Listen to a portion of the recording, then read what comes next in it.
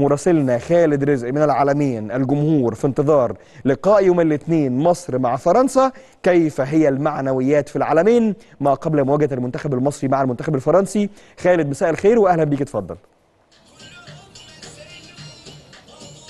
برحب بيك يا محمودي وبرحب بكل مشاهدي اون تايم سبورتس في كل مكان. زي ما انت اتكلمت على الإنجاز الكبير اللي حققه المنتخب المصري الأولمبي في مباراة الأمس. كان هناك يعني بالأمس احتفالات كبيرة جدا من الجمهور اللي حاضر في العالمين الجديدة. استمتاع مع بعض استمتاع طبعا أجواء مميزة في العالمين ولكن كان هناك شاشات عملاقة بيتابع من خلالها كل المتواجدين أجواء مباراة المنتخب المصري الأولمبي. وخليني أقول لك بعض التعليقات اللي كانت موجودة على المباراة إن كل الناس تتكلم إن اللاعبين رجالة قد المسؤولية. كانوا سعداء جدا بالاداء اللي أدوه في الملعب امبارح وبالتحديد الكل اتكلم على إبراهيم عادل اللي عمل حالة كبيرة جدا في الأولمبياد بالتأكيد وكان ظهر بصورة مميزة جدا وهو اللاعب اللي احرز هدف التعادل وهو اللاعب اللي ختم ركلات الجزاء بالفوز.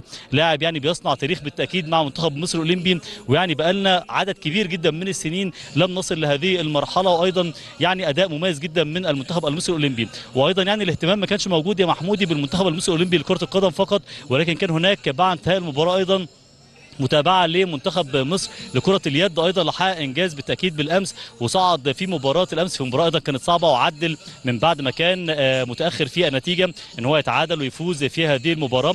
أجواء في العالمين الجديدة مميزة جدا الكل اتكلم على كيفية توفير شاشات عملاقة لكل المتواجدين إن هم يقدروا يتابعوا المباريات في العالمين الجديدة. وأيضا كان في احتفال كان في بعض الفرق المصرية للفولكلور الشعبي الجميل اللي كان بعد انتهاء المباراة كان في عزف لبعض الموسيقى المصرية بالتأكيد. أكيد في أجواء كانت فيها يعني شعور قوي وفخر كبير بمنتخبنا المصري الأولمبي. الناس كلها بقت بتتابع بتتكلم على حمزة علاء بالتأكيد وبتتكلم على أحمد سيد زيزو وبتتكلم على محمد النني وكل اللاعبين بصراحة في منتخب مصر الأولمبي اللي حقق إنجاز كبير جدا. يعني محمودي ما زالت الأمور مستمرة بشكل مميز في العالمين الجديدة. ما زال كل من بيتواجد في العالمين الجديدة من كبار وصغار بيستمتعوا بجميع أنواع الفعاليات والاولمبياد فرضت نفسها. لاعبين منتخب مصر الأولمبي فرضوا نفسهم على الجمهور المصري إن هو في أي مكان وفي أي كافيه وفي أي حتة يقدر يتابع المنتخب المصري الاولمبي ويستمتع بالأداء المميز وإن شاء الله كلنا ثقة في رجالتنا إن إحنا نقدر نوصل لأمور بعيدة. وزي ما واحد النهارده من الجمهور قال لي هنكسب فرنسا إن شاء الله في عكر دارها. وليه لا؟ ما ناخدش مركز أول وناخد ميدالية ذهبية